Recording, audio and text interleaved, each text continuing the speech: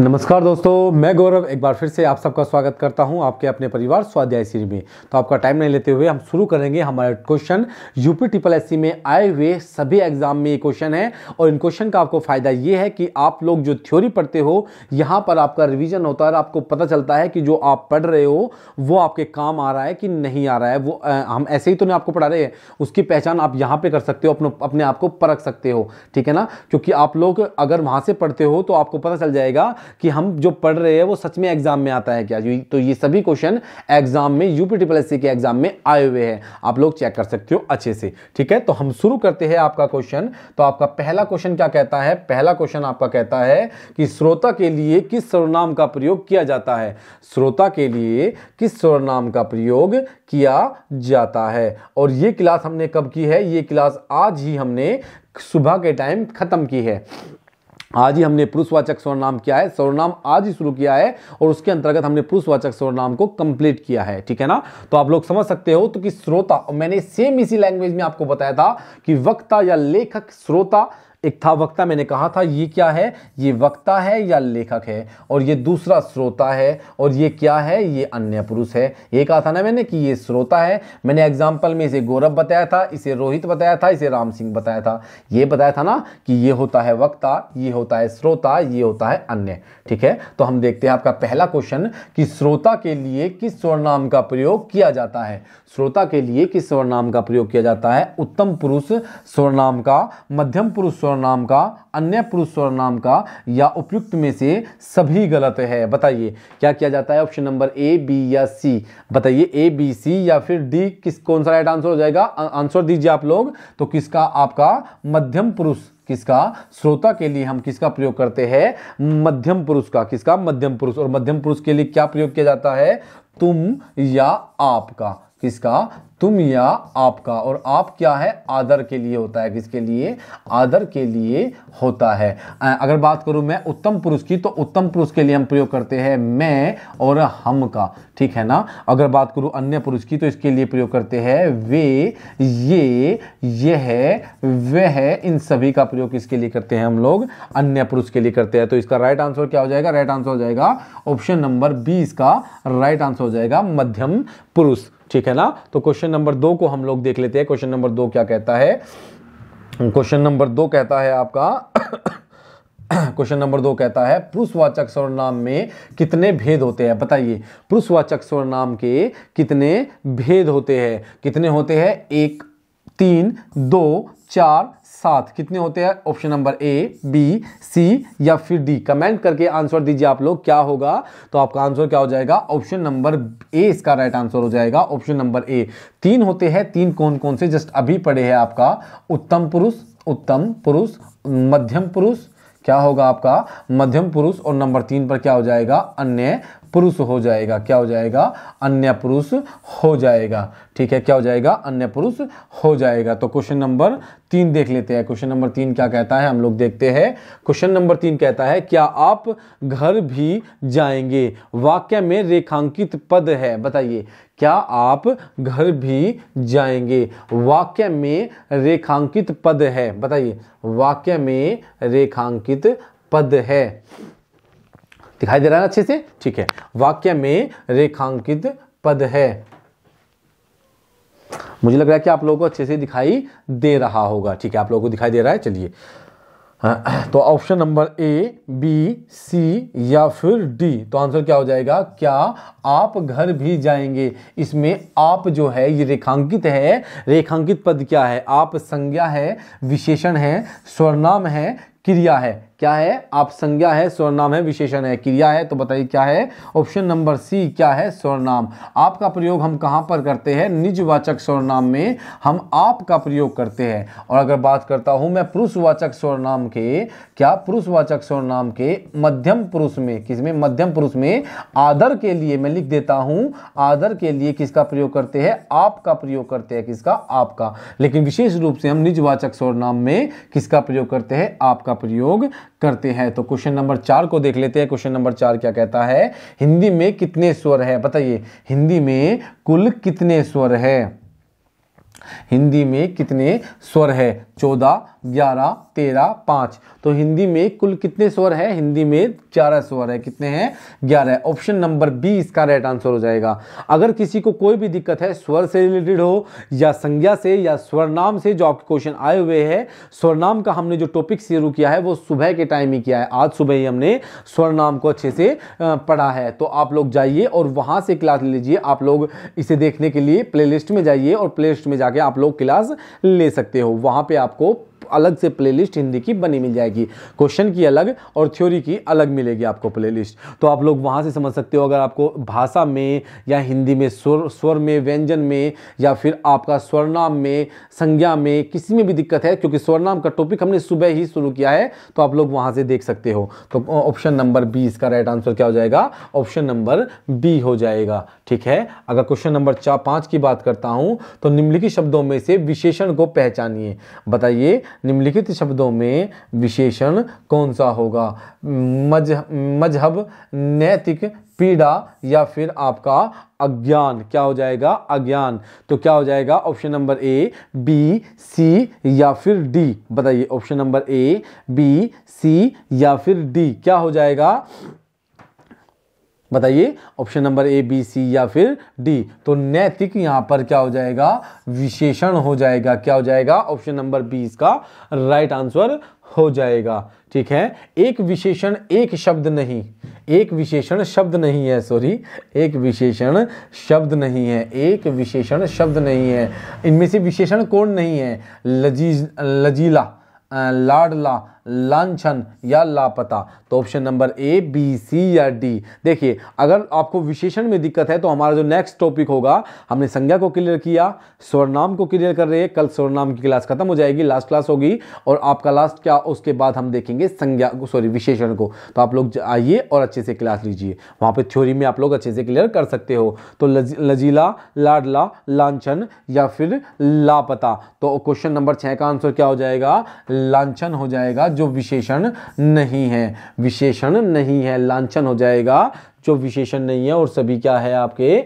विशेषण शब्द है। राम की गायें बहुत काली है। इस वाक्य में काली शब्द क्या है? राम की गायें बहुत काली है। इस वाक्य में काली शब्द क्या है? बताइए। भाई, राम की गाय काली है। बहुत काली है या काली है? ये तो प्री विशेषण हो जाएगा। अगर काली की बात करूँ तो गाय की विशेषता है कि वह काली है। कैसी है? आपकी काली है। तो क्या है? काय का गुण है काला होना तो क्या है आपका विशेषण है? क्या है? ऑप्शन नंबर सी इसका राइट आंसर क्या हो जाएगा? राइट आंसर हो जाएगा आपका ऑप्शन नंबर सी इसका राइट आंसर हो जाएगा। क्या हो जाएगा? ऑप्शन नंबर सी दोस्तों, बस सॉरी उसके लिए, क्योंकि थोड़ी देर कुछ दिक्कत हुई थी, इसलिए मुझे जाना पड़ा था। ऑप्शन नंबर सी इसका राइट आंसर क्या हो जाएगा? विशेषण हो जाएगा। सात का आंसर क्या हो जाएगा? विशेषण हो जाएगा। आठ को देख लेते हैं हम लोग। निम्न में से किस वाक्य में विशेषण का प्रयोग हुआ है? बताइए। किस वाक्य में विशेषण का प्रयोग हुआ है। अपनी तैयारी को जांचिए अच्छे से और देखिए, किस वाक्य में विशेषण का प्रयोग हुआ है। बताइए, किस वाक्य में विशेषण का प्रयोग हुआ है? राम जाता है, सीता फल खाती है, मेरी गाय काली है, जल्दी उठना स्वास्थ्यवर्धक होता है। तो क्या हुआ? Option number A, B, C या फिर डी? तो मेरी गाय काली है। गाय की विशेषता क्या है? कि वह काली है। तो गाय क्या है? गाय क्या है? विशेष है और विशेषण क्या है? काली। तो काला होना उसका क्या है? गुणवाचक विशेषण है। क्या है? गुणवाचक विशेषण है। क्वेश्चन नंबर नौ को देखते हैं। यह चांदी खोटी सी दिखती है। यह चांदी खोटी सी दिखती है। खोटी सी विशेषण क्या प्रकार है? गुण है इसका, संख्यावाचक है, परिणामवाचक है, पूर्णांक बोधक है। बताइए option number A B C या फिर डी तो राइट आंसर क्या हो जाएगा? देखिए, यह चांदी खोटी सी है, खोटी सी दिखती है। भाई, चांदी की विशेषता कैसी है कि वह खोटी सी दिखती है? तो खोटी होना उसका क्या है? एक तरह से गुण है या अवगुण है? तो यह किसमें आएगा? गुणवाचक विशेषण में आएगा। ऑप्शन नंबर ए, इसका राइट आंसर क्या हो जाएगा आपका? नाइन का। ऑप्शन नंबर ए हो जाएगा। क्या हो जाएगा? ऑप्शन नंबर ए, इसका राइट आंसर हो जाएगा। तो क्वेश्चन नंबर दस को देख लेते हैं। दस क्या कहता है? धुंधला शब्द में विशेषण है। बताइए। भाई, धुंधला। धुंधला शब्द में विशेषण है, धुंधला। धुंधला शब्द में विशेषण है। जैसे यह चांदी खोटी सी दिखती है, उसी प्रकार यह क्या बताऊँ, यह चश्मा मुझे धुंधला सा दिख रहा है। यह लाइट मुझे धुंधली सी दिख रही है। ठीक है ना? भाई, लाइट जो है वो धुंधली, लाइट की विशेषता क्या है? धुंधला। क्या? धुंधला। तो धुंधला क्या है? संख्यावाचक, गुणवाचक, सर्वनामिक, उपयुक्त में से कोई नहीं। तो option number A B C या फिर डी तो बताइए कमेंट करिए और आंसर दीजिए कि option number A B C या फिर डी तो राइट आंसर क्या हो जाएगा? Option number A B C या फिर डी तो राइट आंसर हो जाएगा आपका गुणवाचक विशेषण का यह उदाहरण है। किसका? गुणवाचक विशेषण का एग्ज़ाम्पल यह होगा। क्वेश्चन नंबर ग्यारह को देखते हैं। कार्य को करने या होने का बोध कराने वाले शब्दों को क्या कहते हैं? बताइए। कार्य के होने का बोध कराने वाले शब्दों को क्या कहते हैं? किसी कार्य के करने का या होने का बोध कराने वाले शब्दों को क्या कहते हैं? देखिए, क्या कहते हैं? काल कहते हैं, संज्ञा कहते हैं, क्रिया कहते हैं, विशेषण कहते हैं। राम घर है। राम घर। अगर मैं कहूँ, राम घर जाता है। ठीक है? अगर मैं कहूँ कि राम सोता, नहीं।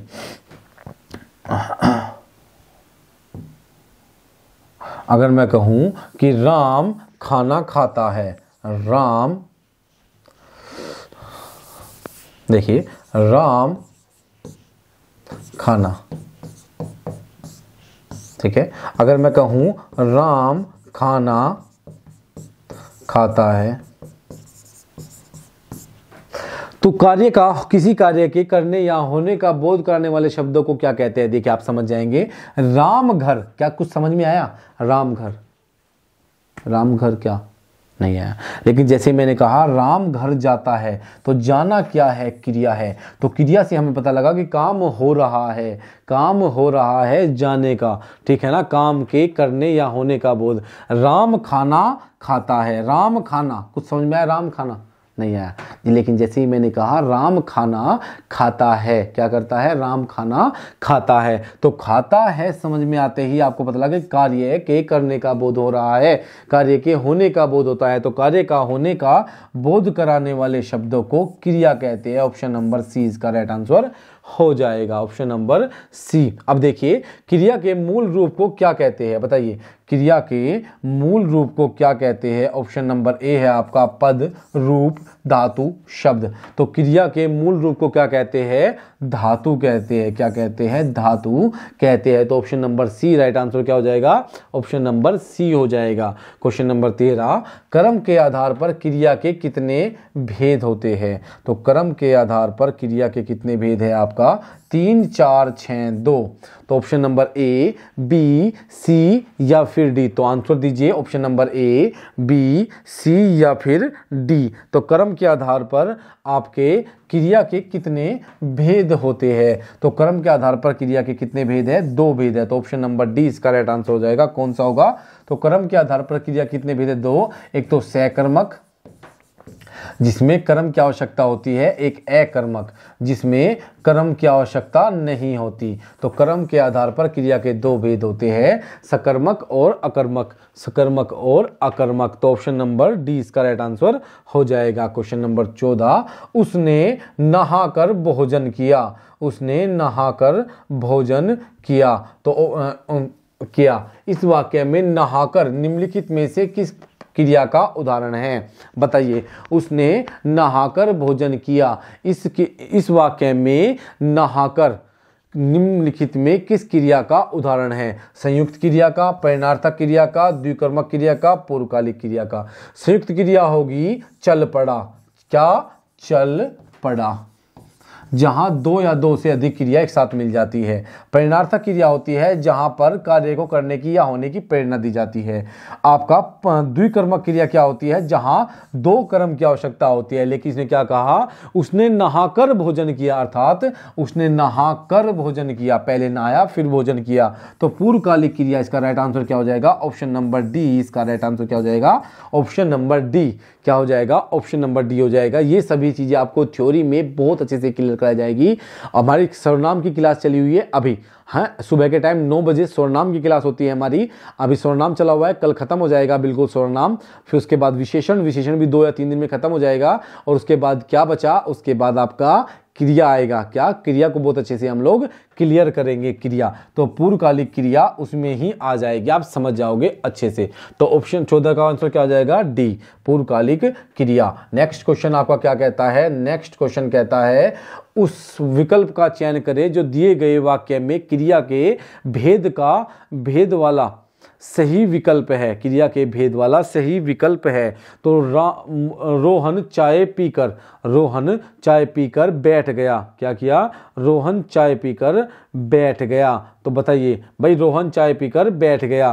तो रोहन जो है, वो चाय पीकर बैठ गया। इसमें परिणार्थक क्रिया का प्रयोग हुआ है, नाम धातु का, पूर्वकालिक क्रिया का या संयुक्त क्रिया का। तो मैंने आपको बताया है कि जब भी कर आ जाए, पहले चाय पी, फिर बैठा। तो कर का प्रयोग किया गया है तो क्या हुआ आपका? पूर्वकालिक क्रिया हो जाती है, ऑप्शन नंबर सी क्या हो जाएगा? ऑप्शन नंबर सी हो जाएगा। और इसके बारे में फुल डिटेल के लिए आपको थ्योरी की क्लास लेनी होगी जो सुबह नौ बजे होती है। ठीक है? तो वहाँ से अच्छे से ये सब कुछ क्लियर हो जाएगा। हथियाना में कौन सी क्रिया है? हथियाना में कौन सी क्रिया है? परिणार्थक, संयुक्त, अनुकरणात्मक या नाम धातु क्रिया। तो क्या हो जाएगा? राइट आंसर क्या हो जाएगा? आपका हथियाना में कौन सी क्रिया है? परिणार्थक, संयुक्त अनुकरणात्मक या नाम धातु। तो ऑप्शन नंबर डी नाम धातु क्रिया का प्रयोग किया गया है हथियाना में। नाम धातु क्रिया का प्रयोग किया गया है हथियाना में। तो निम्नलिखित प्रश्न में से चार विकल्प में से उस विकल्प का चयन करें जो क्रिया के भेद वाला सही विकल्प है। किसका? क्रिया के भेद वाला सही विकल्प है। दीपा ने गाय को चारा डाला। क्या किया? दीपा ने गाय को चारा डाला। भाई, दीपा ने गाय को चारा डाला। नाम, धातु, द्विकर्मक, परिणार्थक या कृदंत क्रिया का प्रयोग किया गया है। तो क्या हो जाएगा? सत्रहवें का राइट आंसर क्या हो जाएगा? आपका दीपा ने गाय को चारा डाला। तो दीपा ने किसी चारा डाला? गाय को डाला। तो चारा और गाय दो कर्म हुए तो द्विकर्मक क्रिया का प्रयोग किया गया है ऑप्शन नंबर बी इसमें चारा और गाय दो कर्म है तो आपका क्या किया? चारा खिलाया। खिलाना क्या है? क्रिया, लेकिन चारा और गाय क्या है? दो कर्म है तो द्विकर्मक क्रिया का इसमें प्रयोग किया गया है ऑप्शन नंबर बी अठारह को देखते हैं किस वाक्य में किस वाक्य में पूर्ण द्विकर्मक क्रिया का प्रयोग किया गया है? क्या किया गया है? किस वाक्य में द्विकर्म, पूर्ण द्विकर्म क्रिया का प्रयोग किया गया है? ऑप्शन नंबर ए, मोर नाच रहा है। ठीक है, मोहन महेश रगुण हो गया। ममता ने कुत्तों को रोटी खिलाई, इनमें से कोई नहीं। तो ऑप्शन अट्ठारह का राइट आंसर क्या हो जाएगा? अट्ठारह का राइट आंसर बताइए कि अट्ठारह का राइट आंसर क्या हो जाएगा? देखिए, किस वाक्य में पूर्ण द्विकर्मक क्रिया का प्रयोग किया गया है? मोर नाच रहा है। रहा है, क्या क्रिया है? नाच। ये क्या है आपका? कर्म हुआ। एक नाच रहा है, ठीक है ना? महेश रुगुण हो गया। ममता ने कुत्तों कुत्ते को रोटी खिलाई। खिलाना क्या है क्रिया? लेकिन रोटी और कुत्ते कर्म हुए। क्या हुए? कर्म। तो ऑप्शन नंबर सी इसका राइट आंसर क्या हो जाएगा? ऑप्शन नंबर सी आ जाएगा। तो अट्ठारहवें का राइट आंसर क्या हो जाएगा? ऑप्शन नंबर सी में पूर्ण द्विकर्म क्रिया का प्रयोग किया गया है। अठारवा, उन्नीसवा क्या कहता है आपको? उन्नीसवा कहता है, आचार्य किशोरी दास, वाजपेयी के नाम से हिंदी में कितने कारक हैं? भाई, आचार्य आचार्य किशोरी दास क्या? आचार्य किशोरी दास वाजपेयी के मत से हिंदी में कितने कारक है? कितने कारक है? देखिए, आचार्य किशोरीदास ने हिंदी में कितने कारक माने हैं? तो इन्होंने छह कारक माने हैं। कितने? छह कारक माने हैं। इन्होंने कितने कारक माने हैं? छह माने हैं तो उन्नीसवीं का राइट आंसर क्या हो जाएगा? ए हो जाएगा। छह माने हैं। वैसे मूल रूप से कितने होते हैं? आठ। लीजिए। नेक्स्ट क्वेश्चन यही आ गया कि कारक के भेद है। बताइए कारक के भेद है। कारक के कितने भेद है? पाँच छह सात, आठ। Option number A, B, C या फिर डी। आंसर दीजिए आप लोग कितने हैं? तो कारक के आठ भेद होते हैं। कितने? आठ भेद होता है। कौन कौन से? कर्ता ने कर्म को करण से संप्रदान, कर्ता ने कर्म को करण से के द्वारा संप्रदान को के लिए अपदान से अलग होने के अर्थ में संबंध काकी के अधिग्रहण में, अधिकरण में पर और संबोधन है रे तो कितने हुए? आठ प्रकार होते हैं कारक के। कितने प्रकार होते हैं कारक के? आठ प्रकार होते हैं। हिंदी में हिंदी में हिंदी में आ, क्या हुआ? हिंदी में कारक के विभक्ति सहित कितने भेद माने जाते हैं? हिंदी में कारक की विभक्तियों सहित कितने भेद माने जाते हैं? ठीक है? हिंदी में कारक की विभक्तियों सहित कितने भेद माने जाते हैं? कारक की विभक्तियों सहित। अब देखिए, अभी अभी बताया, वही है सेम और इसका आंसर क्या हो जाएगा? आठ ही इसका राइट आंसर क्या हो जाएगा? आठ हो जाएगा। क्या हो जाएगा? इसका राइट आंसर क्या हो जाएगा? आपका आठ ही हो जाएगा। ठीक है? कारक के भेद पूछा है इसमें। कारक के सॉरी क्या पूछा है आपका इसमें? इसमें पूछा है आपका हिंदी में कारक की विभक्तियों सहित कितने भेद हैं? वो ये सेम आठ हो जाएँगे कर्ता ने कर्म को करण से, संप्रदान को के लिए, अपदान से अलग होने के अर्थ में संबंध का की के अधिकरण में पर संबोधन है अरे।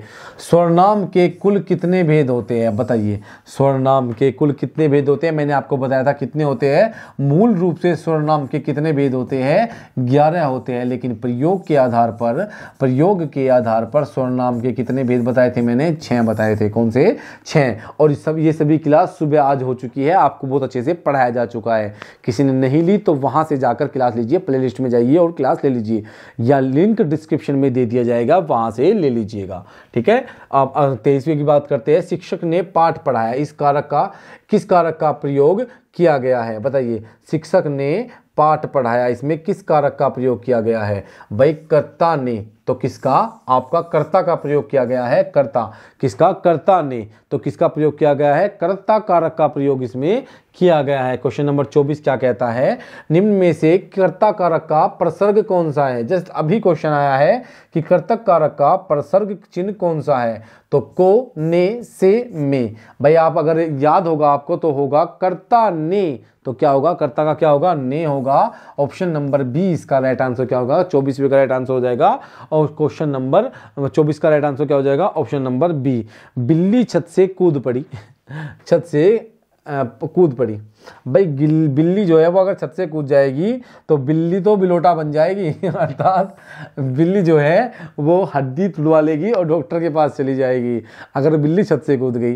लेकिन हमारा वाक्य है कि बिल्ली छत से कूद गई या कूद पड़ी। तो वाक्य में किस कारक का प्रयोग किया गया है? अधिकरण, कर्म, संप्रदान या अपादान। तो किसका प्रयोग किया गया है? 25 में बताइए, क्वेश्चन नंबर 25 में किसका प्रयोग किया गया है? ए बी सी या डी किसका तो अपादान कारक का, जिसमें हमें से अलग होने के अर्थ में, अर्थात बिल्ली छत से कूद पड़ी। किससे छत से? अर्थात वो बिल्ली छत से अलग हो गई। किससे अलग हो गई? छत से कूद गई। जब छत से, छत पे थी, कूद गई तो छत से अलग हो गई। तो से का विभक्ति का प्रयोग किया तो कर्ता ने कर्म को कर्ण से में होता है, कर्ण में होता है, कर्ण इसमें दिया नहीं। वहाँ पर जुड़ाव की अनुभूति होती, लेकिन यहाँ पर अलगाव की हो रही है तो अपादान कारक का प्रयोग किया गया है।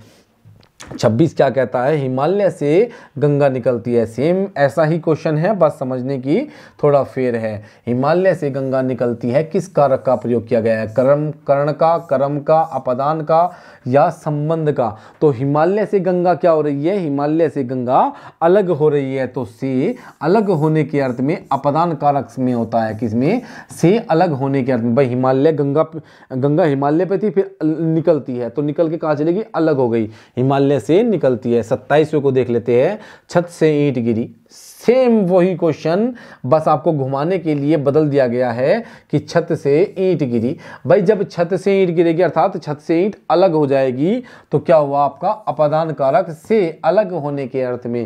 तो सत्ताईस का आंसर क्या हो जाएगा? ए हो जाएगा।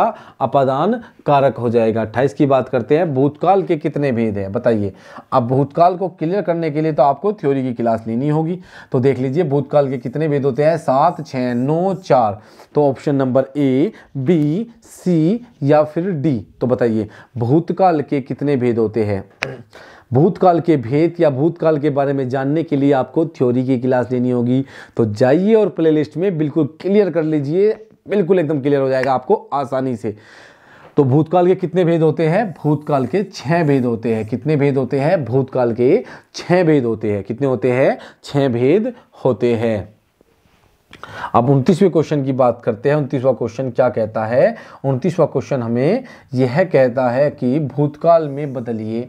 माँ सोती है, माँ सोती है, माँ सोएगी, माँ सोती, ये सोती कर लीजिए, माँ सोती थी, माँ सोने वाली है, माँ सो रही है। तो भूतकाल में बदलना है किसको? कि माँ सोती है, माँ सोती है। इसे भूतकाल में बदलिए सेंटेंस को। तो वाक्य को भूतकाल में बदलेंगे तो माँ सोती थी। तो ऑप्शन नंबर बी इसका राइट आंसर क्या हो जाएगा? कि माँ सोती थी। तो ऑप्शन नंबर बी इसका राइट आंसर हो जाएगा। 28 की बात करते हैं कि अग, अगरबत्ती की सुगंध से थकावट दूर हो गई। तो निम्नलिखित वाक्य में इस वाक्य में प्रयुक्त काल बताइए बताइए कि आपका मोमबत्ती की सुगंध से, मोमबत्ती की या अगरबत्ती की सॉरी अगरबत्ती की, मोमबत्ती से नहीं होगी, अगरबत्ती की सुगंध से थकावट दूर हो गई। क्या हुआ? थकावट दूर हो गई तो इस वाक्य में काल बताइए, हमें काल बताना है। अपूर्ण भूतकाल, पूर्ण भूतकाल, सामान्य भूतकाल या पूर्ण वर्तमान काल, क्या होगा? या फिर हो जाएगा आपका क्या? पूर्ण वर्तमान काल। अब देखिए, अब दिखाई दे रहा है अच्छे से? ठीक है? अब देख लीजिए इसे। पूर्ण वर्तमान काल तो इनमें से कौन सा हो जाएगा आपका? बताइए कि अगरबत्ती की सुगंध से आपका क्या थकावट दूर हो गई? तो काल बताना, अपूर्ण वर्तमान काल, पूर्ण वर्तमान काल, सामान्य वर्तमान काल या पूर्ण? आपका क्या होगा? पूर्ण मानव काल मान मान काल। पूर्व वर्तमान काल। क्या होगा? पूर्ण वर्तमान काल। तो क्या हो जाएगा आपका? सामान्य भूतकाल। इसका राइट आंसर क्या हो जाएगा? सामान्य भूतकाल का इसमें प्रयोग किया गया है। तो ये आपके कितने हो जाते हैं? आपके कितने हो जाते हैं? आपके तीस क्वेश्चन हमने कंप्लीट कर लिए हैं। कितने? तीस क्वेश्चन हमने कंप्लीट कर लिए हैं। ठीक है? तीस क्वेश्चन हमने बहुत अच्छे से कंप्लीट कर लिए हैं। अब आप लोग जिसे भी कोई भी दिक्कत है, वो थ्योरी की क्लास ले सकता है। आप प्ले लिस्ट में जाकर आपको मिल जाएगा। अच्छे से देखिए और थ्योरी क्लास लीजिए। सभी क्वेश्चन थ्योरी से बेस ही होते हैं। और सुबह के टाइम छः बजे मैडम की करंट अफेयर क्लास होती है। बेस्ट क्लास है। आप लोग लीजिए तो आपको पता चल जाएगा। क्योंकि देखिए मैडम थ्योरी में रोज दस सॉरी मैडम जो करंट अफेयर में दस क्वेश्चन तो आपको कराती ही है जो रोज की कराने हैं। दस, ग्यारह क्वेश्चन आपको मैडम कराती है। और उसके बाद मैडम क्या करती है आपको? उसके साथ साथ आपको स्टेटिक जीके भी कराती है मैडम स्टेटिक जीके का फ़ायदा ये है कि आप लोगों का रिवीजन चलता रहता है स्टेटिक जीके का। तो आप लोग जाइए, एक बार क्लास को देखिए तो आपको समझ में आ जाएगा कि मैम कितनी मेहनत करती है और कितने अच्छे से आप लोगों को पढ़ाती है। स्टेटिक जी के इसलिए आपको रखा गया है उसमें, ताकि आप लोगों का रिवीजन साथ साथ होता रहे। मैडम इंपॉर्टेंट डेज़ इंपॉर्टेंट जितने भी इंपॉर्टेंट चीज़ें हैं, वो इतिहास की हो जोग्राफी की हो, किसी भी सब्जेक्ट की हो मैडम उसको स्टेटिक जी के मिलाती है और आपको रिवाइज कराती है, ताकि आपकी सारी प्रॉब्लम का सोल्यूशन यहीं पर हो जाए। तो दोस्तों जाइए, सुबह छः बजे आइए और मैडम की क्लास लीजिए। सुबह छः बजे रोज होती है और मैडम की आठ बजे होती है बायोलॉजी की क्लास जो आपको बहुत ज़रूरी है आप लोगों के लिए लेना।